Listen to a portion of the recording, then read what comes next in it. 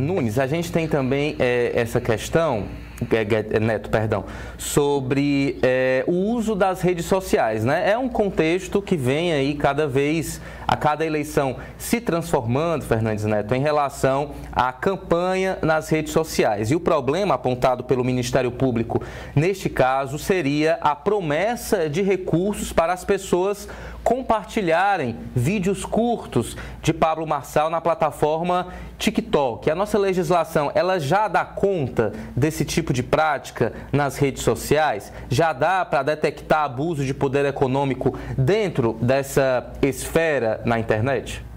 A Constituição e a nossa legislação já proíbe o abuso de poder econômico, seja ele na esfera comum, na, na propaganda convencional, seja ele também na, na, nas vias é, digitais. E aí, tanto no TikTok como em qualquer outro via, qualquer promessa, qualquer entrega de valores, e no caso aí do Pablo Massal, a conexão e a captação de simpatizantes mediante remuneração e promessa de financiamento pode sim gerar um abuso de poder econômico, né? E o Tribunal Superior Eleitoral já tem vários julgamentos com relação a gastos, no caso dele, de pré-campanha, porque a ação dele envolve gastos em pré-campanha. O próprio caso do Moro, que é um pouco diferente, mas se refere a gastos em pré-campanha. Então, os gastos que foram utilizados por qualquer candidato em pré-campanha também são passíveis dessa análise de abuso de poder.